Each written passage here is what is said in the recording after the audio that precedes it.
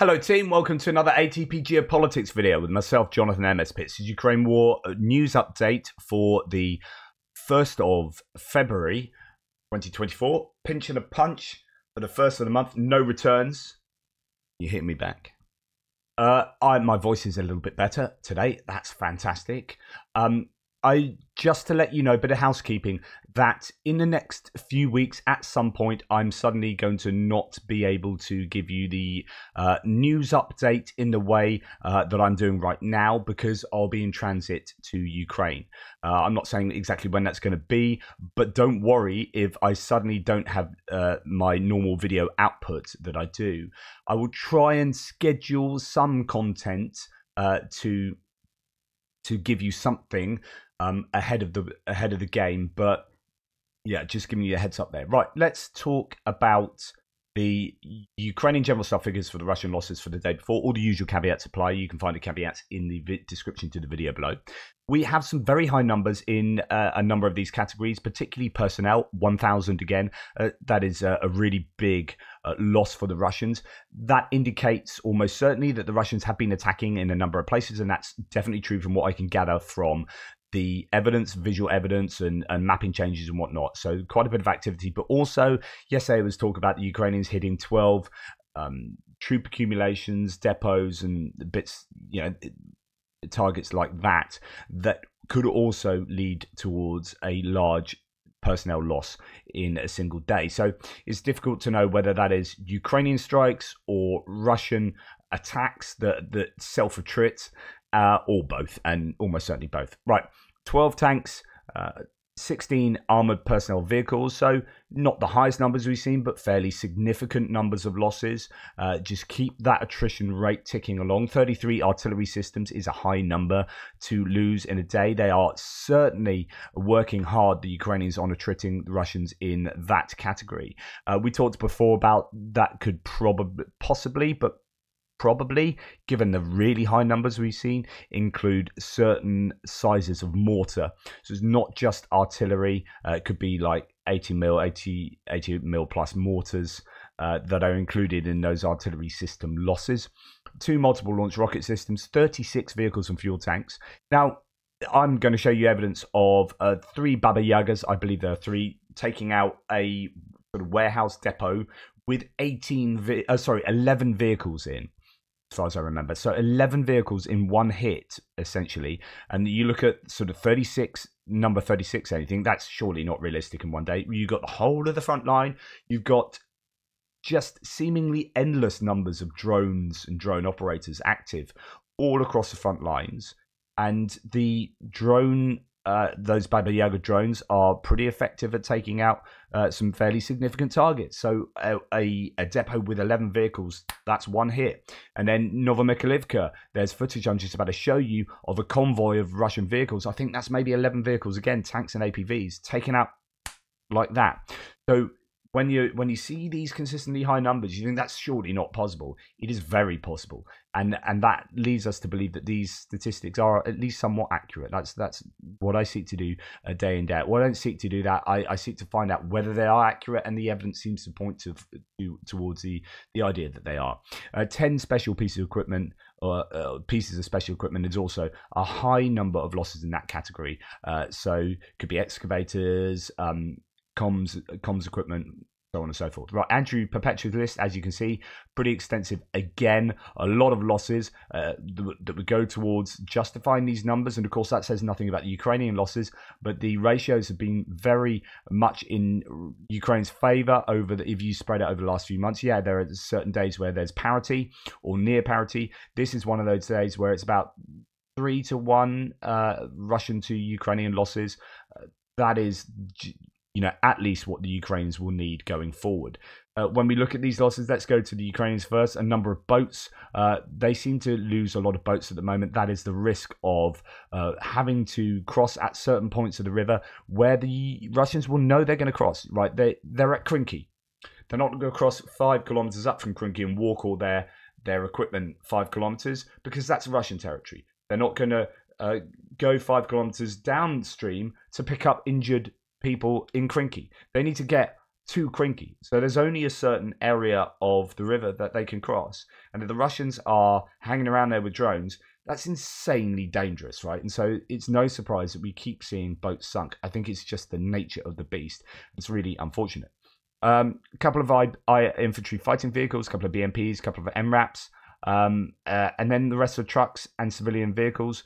Uh, there's a decoy there that you can effectively take off the list, and an unknown MTLB I guess that's purple because doesn't know whether it's Ukrainian or Russian. That's the nature of the beast when you're considering that the Ukrainians use the same equipment as the Russians. So you got BMP ones, twos, and threes. Uh, both sides use them. You see one that's completely burnt out in a place that's a grey zone. You're like, who knows who lost that? Who whose that was? And especially when you have one side capturing the vehicles of the other side and using them. So sometimes I, I'm surprised we don't see that more often, to be perfectly honest. Right, so that's not particularly high value equipment. Obviously, there are people involved in that, so the people are incredibly high value. When you, when you lose a, a boat, you know you're going to lose people as well. But in terms of high value equipment, uh, that's not not the worst day for Ukraine. Now, if we look at the Russian losses, we've got an excavator, so that's one of your bits of special equipment. No surveillance and comms stuff there that we normally see. Uh, artillery, some BM21 Grad, so a couple of multiple launch rocket systems, uh, which again, you know, going back to the general staff figures, two of those lost, and two of them uh, appear on here. Um, some other artillery, a few tanks there uh, uh, some BMP infantry fighting vehicles, and a number of MTLB uh, armor personnel vehicles, and then trucks and civilian uh, vehicles here. Now, as you can see, Baba Yaga um, being responsible for a number of these civilian vehicles that were destroyed. So we'll we'll return to that in a second. Before, uh, okay, the the end result of looking at those stats is that the Russians have lost a lot more stuff than the Ukrainians, and that is the kind of day um, that the Ukrainians will like. You know, they they will need these days every day in order to get the Russians to a point where there's a tipping point and the Russians just don't have, they're losing too much equipment. Um, when that day will be, we don't know. We know that they are putting stuff out of storage faster than they ever have done uh, at the moment. Now, this came out yesterday, uh, and I could include this in the strikes section because this is a, as a result of strikes on Belbek airbase. But there are some people who are calling this into question uh, due to the sourcing of it. Uh, so just take this with a pinch of salt. The idea is that in the strikes on Belbek, uh, and we know the airbase was struck, and we know there's smoke coming out off the airbase. So th- this is entirely plausible and you could argue even probable. But the idea is that there were three jets that were lost uh, and 20 personnel, possibly even um, uh, special forces there at the Belbek airfield. According to verified information, three aircraft, two Su 27 and one Su 30, were lost. Two of them were seriously damaged, but there's still a chance to repair them. Uh, one plane, unfortunately, was completely destroyed. The missile hit it directly. Also, 12 military personnel were killed uh, at and near the airfield, and more than 10 were injured. Um, some of the t- planes did not have time to take off after receiving a signal about a missile threat. In this regard, we suffered such heavy losses, uh, said our source in the Ministry of Defense. Now, the the point is that this um, this source is not reliable. Um, you know, bad news from Crimea, and as you can see here, you know, there's evidence that Belbek was hit. Uh, but you know, don't take that as a given that those uh, planes were lost. In fact, Noel Reports was very clear on this yesterday. For now, this is rumor uh, spreading on Telegram without any form of verification, cannot be stated as fact. In general, anyone should be careful of taking screenshots where the sender or channel has been deliberately erased as a valid source. Well, actually, they do know the source now, um, and here's the source, but then isn't uh, particularly uh, confident with that source. To be perfectly fair and indeed, you know, um, uh, yeah, actual sources that, and he says it's unreliable. Dimitri from War Translated also stated that that was a very unreliable source, but it may still have happened, and all all the there's nothing to disconfirm that really happening, um, and it would fit in line with the fact that the airbase was struck. But then, if you're using Storm Shadow missiles, I don't know that you would use them against I've wondered about this before. You guys can let me know in the threads. But if you have a, a number of, of parked airplanes, right? That are that are that are sitting there. Usually, when you send missiles off, which was kind of hinted at in in the source here, there's good um, lead time between when you uh, when you understand the missiles are in the air and when they're going to hit the target. And so you get your planes up quickly. They can then circle, and the helicopters as well. They can then circle. Uh, so the air air bases, well, the, the missiles won't hit the planes. And then the missiles hit the runway, and then you go, oh dear, that's a shame. You land somewhere else, or you land on the runway, depending on how it is. But you don't lose the planes. Uh, and missiles like the Storm Shadows and Scalps are the kind of bunker buster missiles, and I don't think the uh, the best use of them is to strike at targets that are effectively time sensitive. So they're more likely to be used on things like the tra- air traffic control towers and you know your bases. Maybe you would want to hit the um, the the billeting for the pilots. You know, if you can take out ten pilots in their in their barracks or wherever, then that's going to be a super useful use of that missile. But if you're going to fire it at a plane and then that plane takes off, then you have wasted millions of dollars worth of, of missile or however much it, it is. So it, it it's probably, although I say it's a high probability this could happen, actually, uh, you know, we should probably revise that. I should probably be a, a little less sloppy and say realistically that they aren't going to be trying to hit um, airplanes. I don't think, but then that is just what do I know type thing. Uh, nonetheless, you know there were many uh, targets that were hit. I would have thought across Crimea. I say I would have thought because the Russians have claimed they've taken down every single missile. Um, we'll come to that into next in the next section. Now, talking about losses, this is a video that's doing the rounds at the moment, and it's quite incredible right? So we'll look at it from the very beginning. But basically, it's a, a, video of a failed assault, I think, south of uh, Novomikhailivka. Yeah, southwest of Novomikhailivka. So we'll we'll maybe have a look at that on the frontline update later. But yeah, this t- took place, and it was just a. It's an incredible video, this because you are seeing one after the other uh, Russian vehicle being taken out, taken out, taken out. Uh, just as I say, incredible. And unsurprisingly, it's not going to load now because, you know, that's my luck. Uh, let's look at it again here. So eh, that is the image you kind of need to see to understand how many vehicles the Russians send in and how close together some of these are. Right? Imagine you are using um, artillery. I mean, you could arguably take out three vehicles in one. I mean, that is not good uh, tactics or not good protocol for these uh, these Russians. Anyway, there's a lot of vehicles here, and we have the Ukrainians interestingly hitting almost all of them with first person view drones rather than with artillery. And I think that tells you a lot about the lack of artillery shells, but possibly the prevalence of um, of drones and and how that they appear to have far more drone uh, munitions and and far more drones than they do artillery shells. But just each one of these, that T seventy two tank, you know, each one of those is a hit on a vehicle in that column, and it appears that they have taken out every single one of those vehicles with first person view drones. And uh, you know the video goes on. I uh, go and watch the video. Uh, I'll get in trouble for showing all of that. But but just huge amount of devastation caused by uh, a, a, large number of drones hitting these these vehicles. So then when you go back to look at the general staff figures, and you're like, twelve tanks, really? Sixteen APVs, really? Yeah. Well, eleven of those were taken out in one place. You know, by uh, drone operators in that one area. It's just quite incredible. Um, uh, so, and it, talking about that video, the Russians have reacted very badly to it. So here you can see, you know, lots of smoking um, vehicles there. Uh, these were all hit by those, those, drones. The destruction of the Russian convoy in Novomikhailivka area by the 72nd Brigade. The Russian command has uh, uh, peanuts instead of brains. It's almost unbelievable. Well, actually, they've reacted to this. So this is uh, a comment on a Russian channel to this. The enemy video. Today's attempt by our soldiers to advance in the Novomikhailivka area. I honestly don't know how to comment on this. How can you not take into account the fact of FPV drones on January the 30th, 2024, being an admiral general drawing a plan of attack? Where is the experience from the Ukrainian armed forces' summer counteroffensive attempt?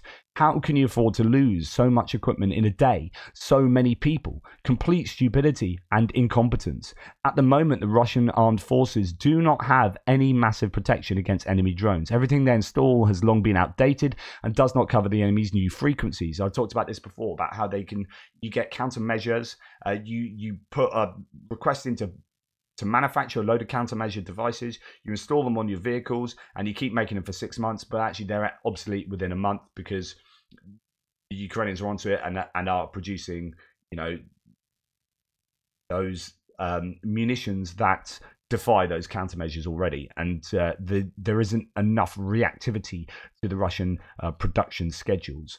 Um, only volunteer projects are now on the way. Large factories have not been able to launch small electronic warfare and are sitting with gravy in their pants in front of the minister and the ZMO. The problem requires emergency measures. P.S. Now in the comments, the reality of the idiots who have already defeated all the Ukrainians will burst, and all these uh, are TIPSO videos. I don't know what that means. And of course, the Patriots on the salary will squeal that the video was filmed uh, who knows how long ago, and in general, you're all lying. Start assholes. In other words, that last paragraph says basically don't criticize the, the your reaction will be, oh, this was filmed ages ago, or this was this, or this was that, and that's your way of getting around it, and it, or lying, or whatever.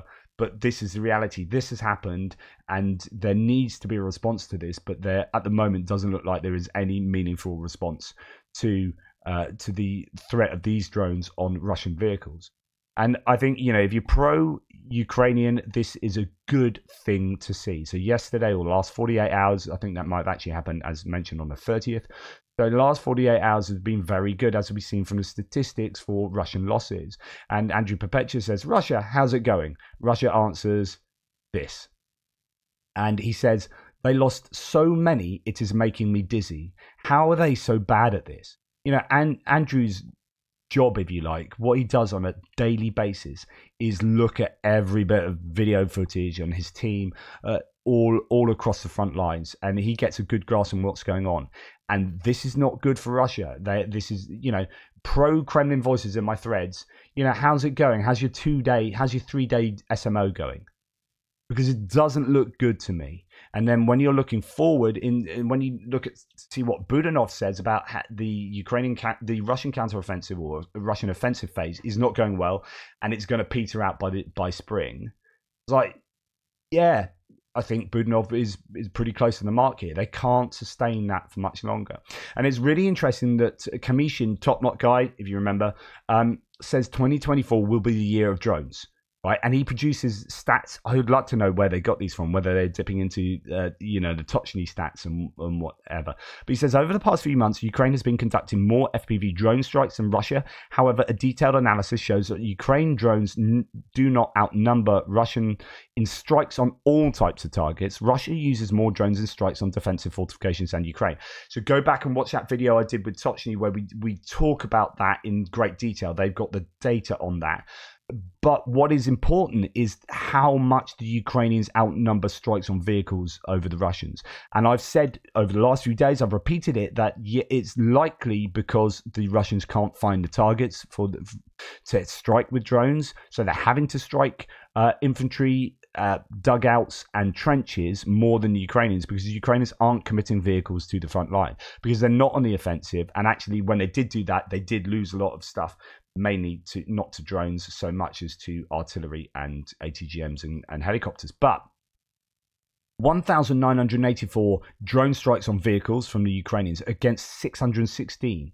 So that is over a three to one ratio. And th- so when you then go back to this statistic and this statistic, you get a sense that yeah, this all does marry. Everything does seem to be, you know, pretty kosher with regard to should, are we justified in believing those stats?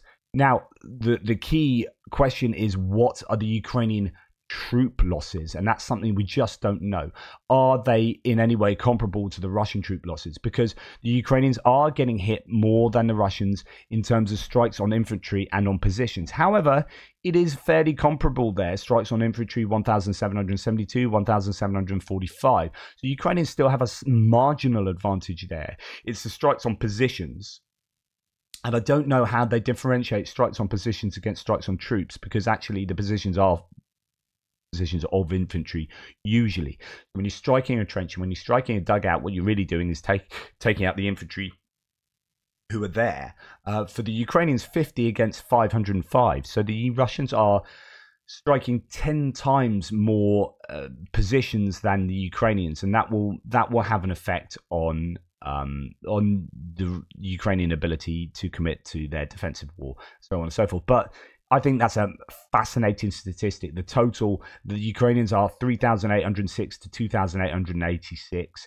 It, that's a significant advantage still. I mean, although you might not think that's huge in, in this war, uh, when you then add it together with the vehicle hits, I think the, the Ukrainians will almost certainly be doing a consistently bad um, you know hurting the Russians consistently heavily with with their particularly their drones, and that's not to talk about counter battery fire uh, and missile strikes and so on and so forth.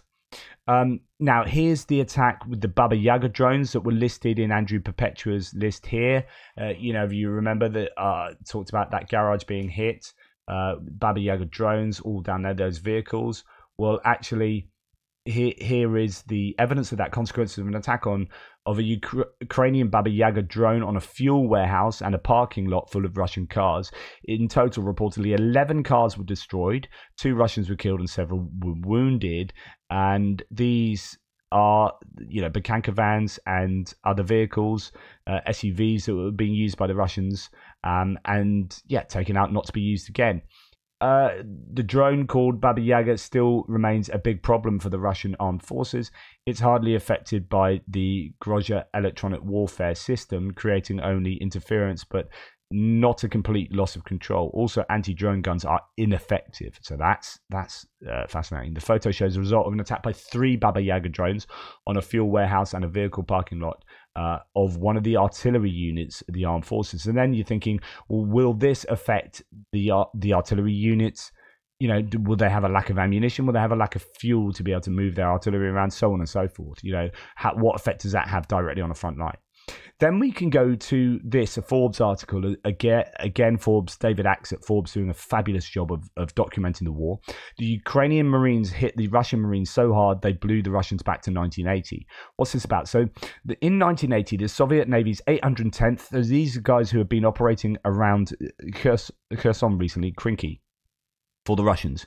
The 810th Guards Naval Infantry Brigade, uh, so Marines, based in Sevastopol on Ukra- Ukraine's Crimean Peninsula, owned a battalion of 1950s vintage T-95, T-55 tanks back in 1980. In 2024, so right now, the Russian Navy's 810th Guards Naval Infantry Brigade, fighting in Kherson Oblast in southern Ukraine, owns a battalion of 1950s vintage T 55 tanks.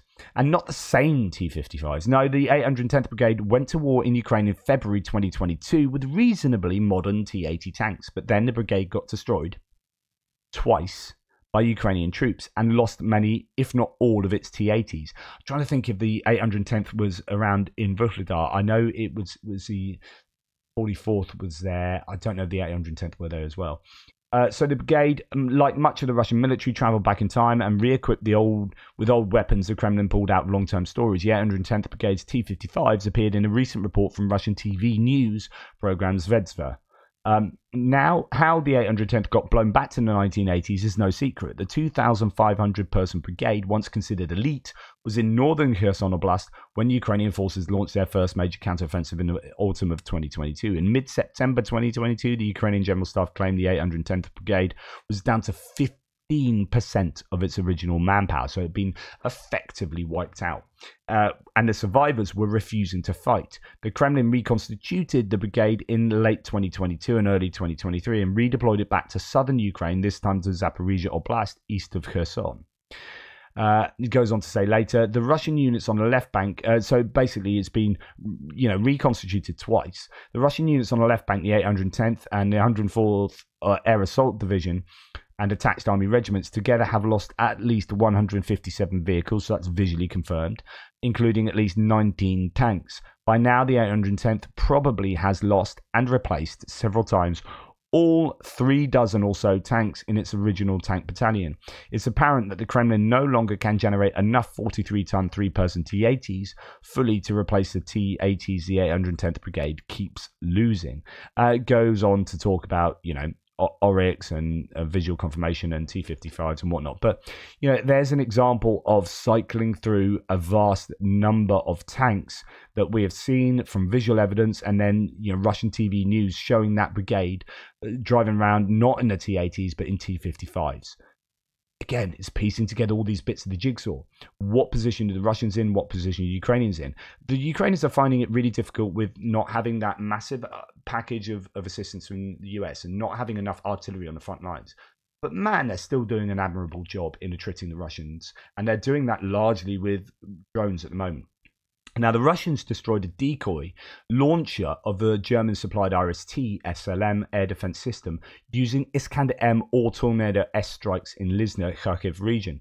Decoys were located in the place where, um, on the sec- 24th of February 2022, four Ukrainian S 300 launchers as well as uh, a 5N66M radar were destroyed. So right back at the beginning of the war, during that suppression of enemy air defenses, there were some there were some Ukrainian high value air defense pieces blown up and radars blown up.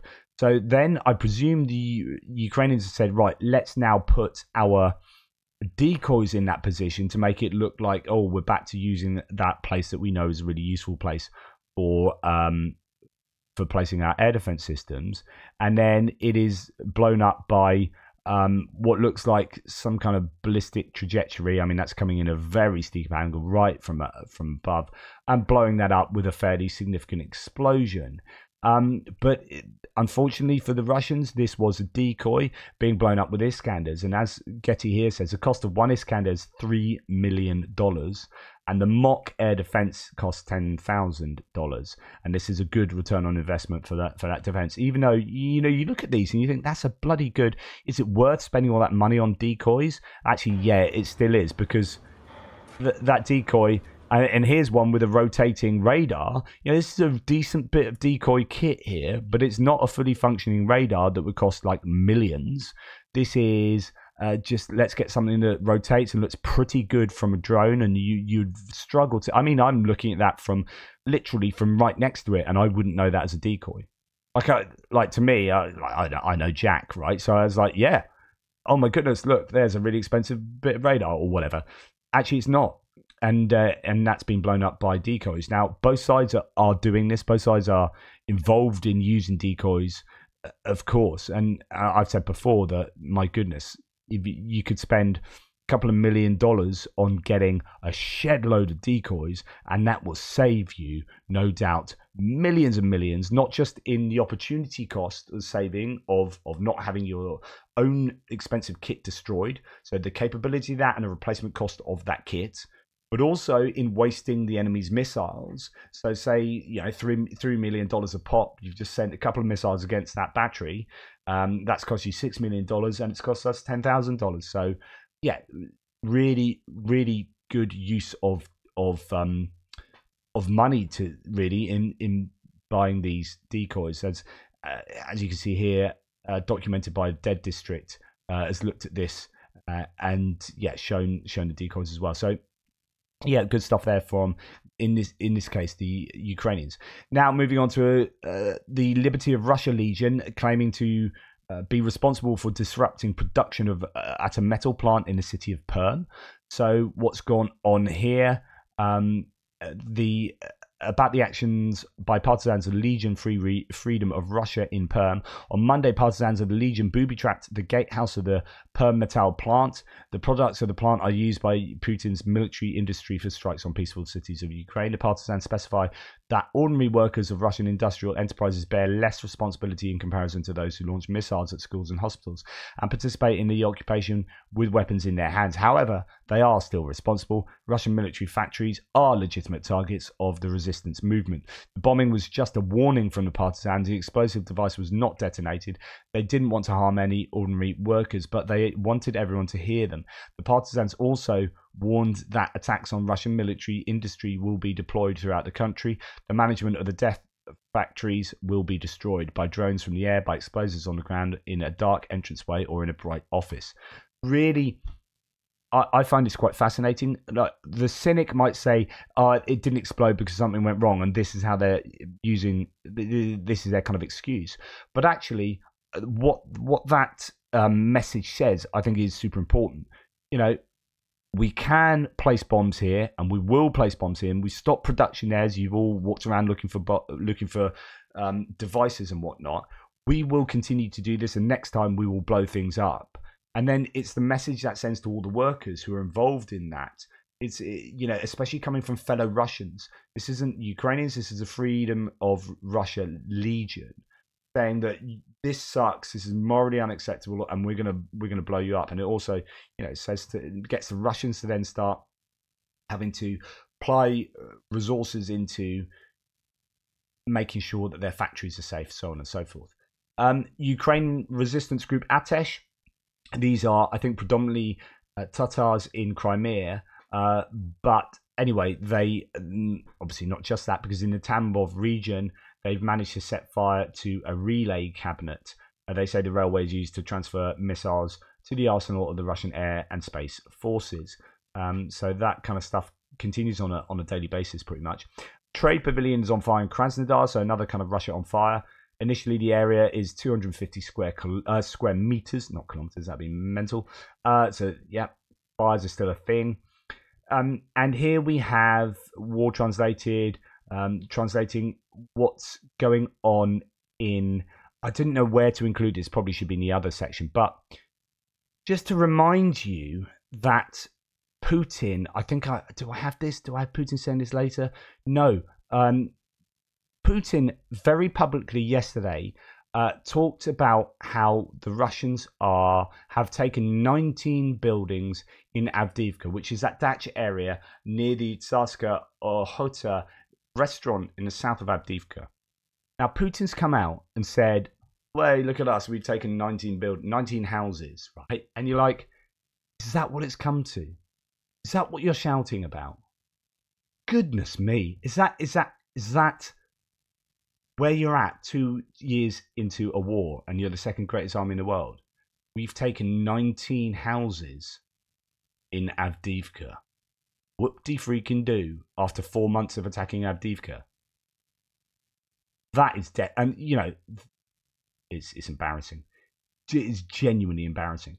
Um, even the biggest Nazi among Z morons uh, change rhetoric, says uh, War Translated. They dug a crap tunnel for 100 days so they can now, quote, heroically hold defense in Tsarska Ochota. Uh, Putin said they captured 19 buildings. Oh, lol absolutely, their Avdiivka operation is now closing in on four months. It's just, it is pretty embarrassing. Um, uh, yeah. Uh, as this source says, objectively, it has become more difficult to fight the enemy. The enemy uses artillery to a minimum without revealing firing points. This take into account everything that's said here because there are some really uh, fascinating nuggets coming out of this. So they don't use artillery too much, using it as a minimum. That could be a lack of artillery ammunition, of course. But it also means they don't reveal their firing points too easily. Uh, compensating for this with massive use of drones. Again, going back to what was previously said, it looks like the strategy of the Ukrainian armed forces going on the defensive using drones. Fairy tales about a shortage of sh- shells it, how much of that is psyops? That that's the implication here. It's very convenient. Minimal firing points, observation posts, work of invisible operators with drone remote controls. Their plan is to hold the defense like this for a long time, and while we advance, waiting for arrivals. I'm more concerned about our strategy. Rejection of primitive tactics and preservation of people are relevant. In other words, what we are doing is primitive tactics where we just kill all our people. We don't care about uh, the preservation of our people. And he says rejection of that is relevant. In other words, we should reject that, bringing assault on on embrasures to a minimum. Uh, like I, what I take from that is we aren't, um, uh, you know, we shouldn't be doing what we're doing at the moment. Uh, just these these attacks on places that just exhaust our troops and equipment. Uh, for no real significant gain. Uh, Russian forces, on the other hand, have shelled Sumy Oblast. I was speaking to Greg uh, Greg Terry today. He is in Sumy Oblast, and he says it is mental there. The, like on the line confirmation that they've really stepped up the shelling. Um, uh, Russian military shelled northeastern Sumy Oblast 216 times in 43 separate attacks throughout yesterday, according to Sumy Oblast military administration. Absolutely true. It is. It is hard. I think the whole front line is hard. It is hard for the Ukrainians. But even given the hardness, and Greg's going to be telling you it's hard because he's speaking to people on the front line all the time. And when you speak to those individuals, it's like speaking to those people in Krinky. They will tell you that life is hell and it's terrible and what it's all suicidal. What what's the point of this all? When you zoom out and understand what's going on everywhere, you can get actually a much better picture of what's going on. And in each individual place, it would be hell for anyone on both sides there. You're fighting a freaking war. It's horrible. No one likes it and you will say your conditions are terrible and that, that people are dying and it's all horrible. But when you look at the statistics, and this is translating human lives into numbers, yes. But when you want a grasp of what's going on, where we are at in the war at the moment, those attrition levels are still in favor of the Ukrainians. And and I think we, we, need to remember that. So as bad as it is for the Ukrainians and as terrible it is that they don't have all the equipment they need, they're still doing a really good job of Russians, in my opinion. Uh, on to strikes. Sorry, this is another going to be another long one, isn't it? I just talked too much. Overnight, Russia has used four drones. Two were shot down. Fifty percent, uh, not brilliant, but only four. So why so few drones? That, that same question. Uh, Russia did hit hospital a hospital in Kharkiv yesterday, which is all fairly controversial. Uh, there was not a lot of footage coming out of this, um, and they weren't releasing lots of information. So I think this was probably a fairly bad hit. Uh, it's a hospital though. Jesus, what are you doing? Uh, quote, one was near, one was a direct hit. 38 people were evacuated from the hospital, including 33 patients, uh, of, uh, of, which two were bedridden. Um, there were victims in that strike, but the police say they won't reveal the full details until the morning. I've not heard anything since then, but yeah, I think that's a uh, not cool. And Russia's also been mercilessly hitting, as Tim White said, Kherson uh, in the afternoon, evening. Central areas have been pounded. It's pretty miserable. Kherson at the moment it is being hammered by the Russians and has been since it was um, liberated. An apartment block has reportedly been hit. It's purely residential there, but the power grid has also been damaged. Uh, there's no doubt they're just indiscriminately hitting civilian infrastructure in that area particularly. The Russian installed head of occupied Crimea said yesterday more than six missiles were shot down. He also claims only minor damage from falling debris. So this was as a result of the wave of attacks that took place yesterday during the day uh, on uh, Belbek air, air base and lots of places around Crimea. I, indeed, there, there's evidence of air defense working. Explosions reported in or not working, but not necessarily being successful. We're not not sure. Air defense was operating.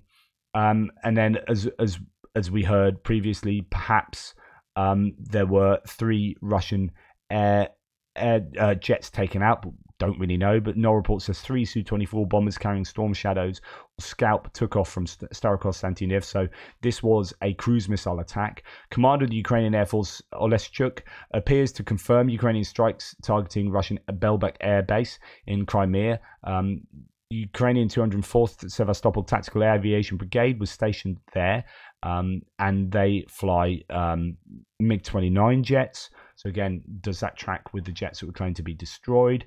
Um, but something was hit there anyway. Um, it appears uh, something burning in at Belbek Air Base. And then this is so some of the places that were at least these places were struck yesterday. Uh, some sort of explosion reported in five places during the air raid on occupied Crimea um, Simferopol, uh, Saki, Sevastopol, Feodosia, and um, up here as well. Uh, uh, hit with uh, storm shadows or, cru- or, cruise missiles there at least. Um, strikes on an occupied Donetsk last night. Uh, video showing uh, an electricity substation being on fire and power surges and outages reported in Donetsk and Makivka as well. Some explosions in the distance. So targets being hit. Who knows what with? Whether it's uh, just that kind of area. It could be all sorts of stuff because it's fairly close to the front line. Uh, are the GLSDBs being used yet? Who knows? Um, then Russia says it stopped two drones in Nizhny Novgorod. That's in Russia. Uh, last night, it claims they were flying low to avoid detection, but was stopped by electronic warfare in the Kstovsky region. Indeed, this morning they said 11 drones were shot down over multiple regions in Russia. Russia keeps saying 100% of stuff is shot down. Like Ukraine hardly ever say that. But, and if they do say it, it's it's in amongst days like last night, fifty percent. The night before, over fifty percent. Night before that, less than fifty percent. Russia is like hundred percent, hundred percent, hundred percent, hundred percent. And then you're like, how do you lose that? How do you lose that? Lose that entire warship? Like if you shot down hundred percent and stuff, like there's a submarine that's blowing up there. What's happened to that S four hundred system and those radars? Like it's just interesting because those drones conveniently get shot down into the target they're aiming for. How does that work, Russia? How does that work? Oh, yeah. You're lying. That was it. Um, so yeah, I just don't believe him. Uh, Pro Ukraine channel channel Crimea Wind reports one of its subscribers writing in Saki explosions are heard in the direction of Yevpatoria.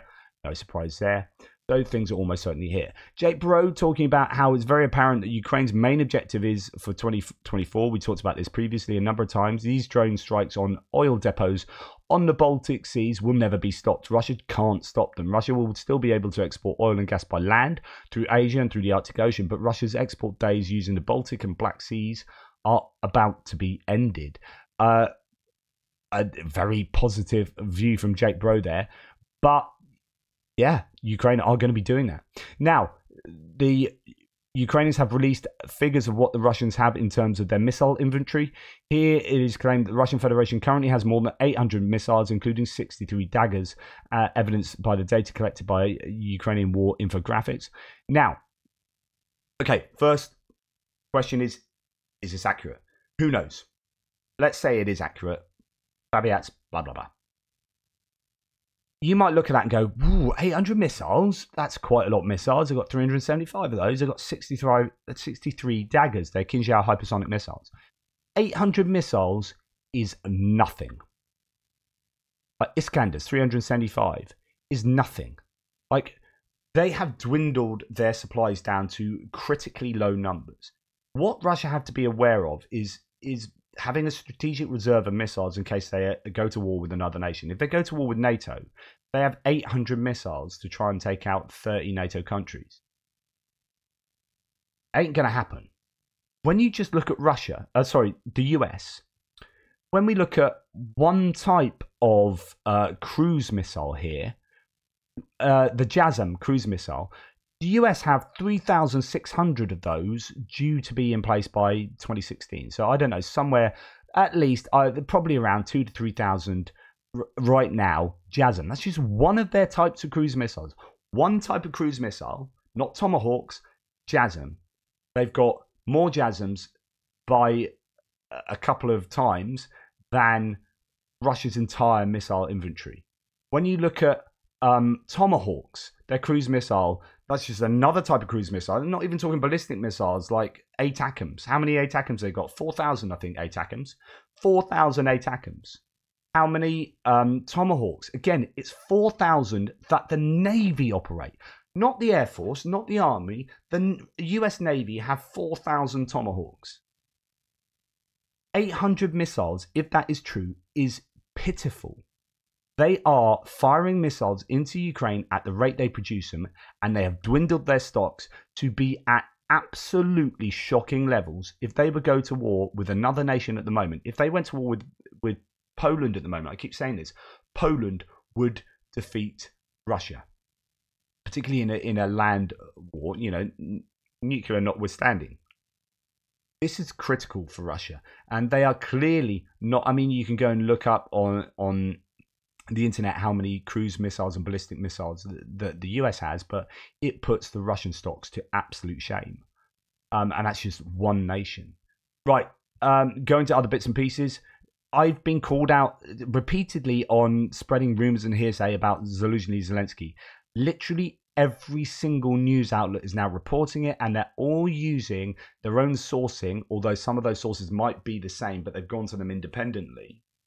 Um, a number of sources, and as I said, Denys Davydov, who YouTuber, has his own sources and c- confirms this is true. And in fact, politicians are coming out and saying that th- this is true. Um, CNN piling on to confirm, says Shashank Joshi.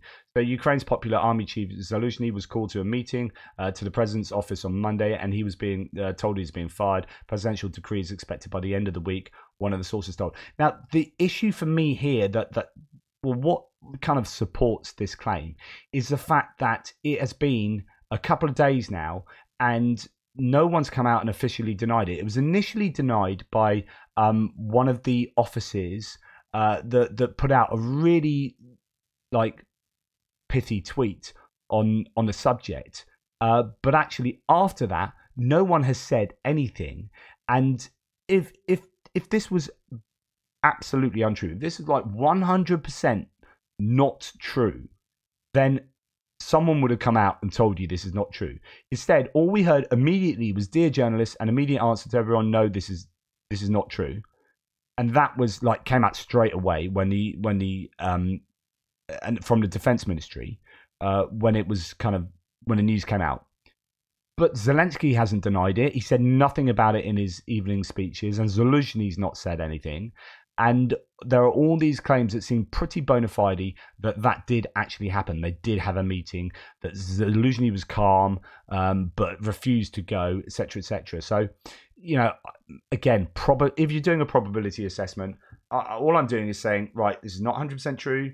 My assessment is is very probably true to some degree. Uh, whether the kickback to this will change Zelensky's decision is something else to discuss. It might not happen based on the uh, the furore that's come out of that.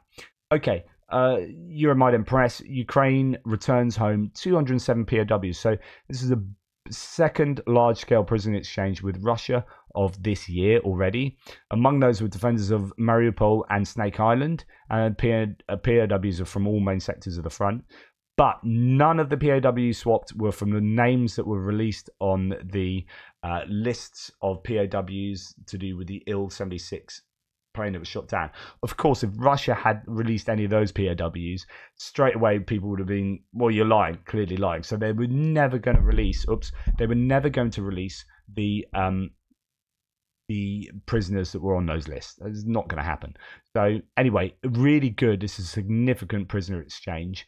Um, Moscow has relocated 100,000 Russians to occupied Melitopol. This is a way of uh, essentially changing the demographic makeup of the occupied territories so that they become more Russified. Moving Russians to Crimea is something, uh, was it a million Russians since 2014 have been moved to Crimea? And then you say, oh, you know, someone like Elon Musk says, you should do a poll of, of Crimea. It's like if you did a poll of Crimea now and said, do you want to remain Russian? It would say, yes, we want to remain Russian because you've just shipped in a million Russians. Right? How about getting the people from Crimea who had to run away because the Russians took it over?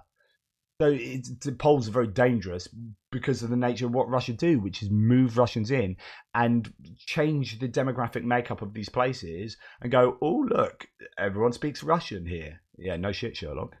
Um, occupiers are uprooting Ukrainians, relocating thousands of migrant workers from Russia, and reshaping the nation's gene pool.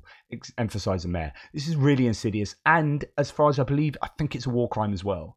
I'm fairly sure that goes against Geneva Convention. For certainly the forced deportation. So they're, they're filtering, filtering, filtration camps in Russia, moving out the Ukrainians, putting them into Russia, which again kind of Russifies those Ukrainians, and then takes takes ethnic Russians in and puts them into the occupied territories and Russifies those territories. It's like, yeah, no. Uh, the UN court has ruled that Russia broke international anti-terrorism financing treaty back from 2014. Russia has violated an international convention on prohibiting terrorist financing by supporting its proxies in, in Ukraine's Donetsk and Luhansk oblasts in 2014, according to UN International Court of Justice in The Hague. Yesterday, and I wonder what the ramifications of that'll be in terms of Russia's membership of the UN Security Council. It'd be great if they, they just kicked kicked off the UN Security Council. Please do it. Um, Margarita Simonyan said in 2022, we will. De- this is what I was referring to earlier. Simonyan said in 2022, we will defeat Ukraine in two days.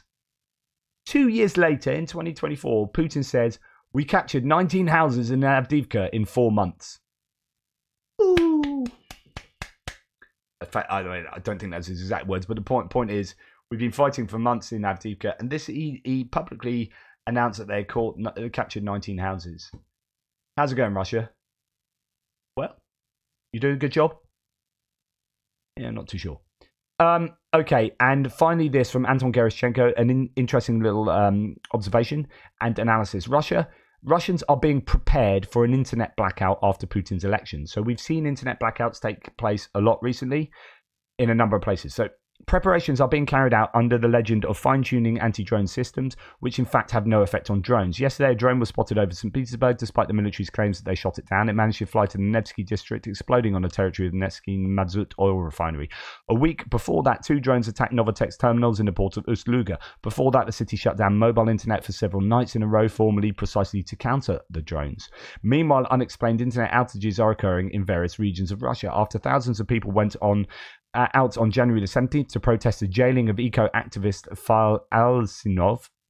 WhatsApp, Telegram, uh, and I think was Signal, but certainly WhatsApp and Telegram were blocked in Bashkortostan. In some districts of Yakutia, after the inter-ethnic unrest that broke out in the region, mobile internet disappeared altogether.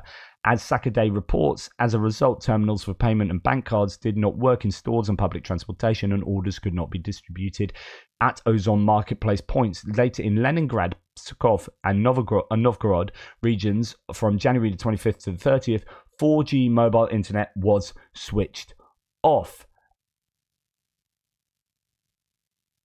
The Russian authorities claim the work was carried out by order of the Ministry of Digital Development, Communications and Mass Media for the needs of law enforcement agencies, in particular to fine tune anti drone systems. However, as we can see, the drone flights over the region were not affected in any way. So the real reason may be quite different preparations to shut down or seriously slow down the internet throughout Russia, or at least in the largest cities. On Tuesday, January the 30th, a massive disruption of the work of internet providers and mobile operators was already observed throughout Russia. Users across the country reported problems with access to Yandex search engines, uh, vKontakte social network, Ozon and Wildberries marketplaces, RuTube video platform. So I was talking about how this could be as a result of Ukrainian interference, but actually this is another theory. Banking applications such as Alfa Bank and Sberbank also did not work. Disruptions to mobile internet were recorded by operators such as MTS, Megafon, and Beeline. Brief channels source close to the ministry's ministry suggests that the internet restrictions in Russia are related to exercises of Roskomnadzor, uh, while the, that I think that's the communications um, government organization, while the global shutdown was associated with the testing of mechanisms of transition uh, to the sovereign internet. By the way, not so long ago, Roskomnadzor reported the installation of up to 100% of its equipment for the technical means of counteracting threats in uh, the networks of internet service providers. This means that Roskomnadzor controls 100% of the traffic within the country and all traffic going to and from abroad. The most dangerous period uh, in terms of internet shutdown slowdowns in Russia is a period between the end of voting on March 17th and the official announcement of the results on March 28th. This is potentially the most convenient time for dissenters to resort to street protests, which the authorities will fight this time not only with the help of law enforcers but also through a large scale internet shutdown. Given that there have been no mass public protests in connection with the internet shutdowns and restrictions, this is a fairly realistic option. Right what I want to say is this is totally plausible.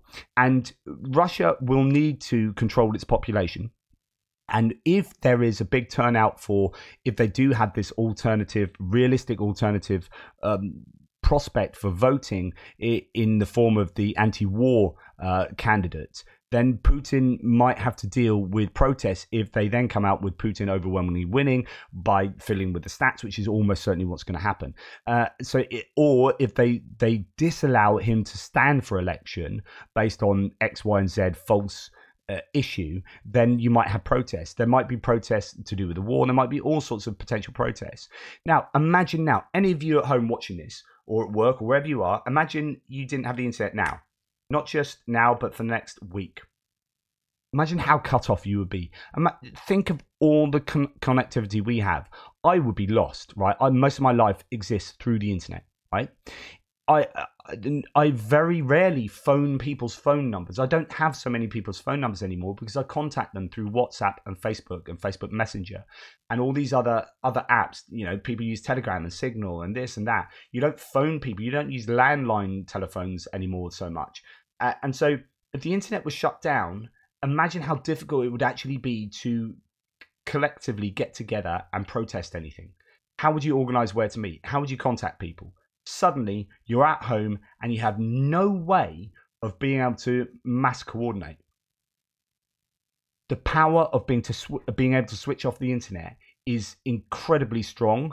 Uh, like the Russians obviously are, are, practicing having that, and that would surely completely uh, stop or or largely stop the population's ability to get together and protest. It would have to be really, really organic. It'd have to be really un um, prepared. It had to be done without the ability to coordinate. It's just this kind of mm, analysis for me from Anton Gerashchenko is, is really super interesting and super important. And I think the Russians have that kind of control over the population. And going forward, that kind of dictatorial approach to um, to democracy or not is is going to be on show. Uh, and I think they are just getting ready. This has nothing to do with drones, but everything to do with controlling the population and controlling the outcome of the elections and any dissent that might or might not now uh, result as as uh, as a result of the, uh, the fake election that will that will take place. Anyway, uh, thanks for watching. Please take care. Speak soon. Two bits. It's been too long.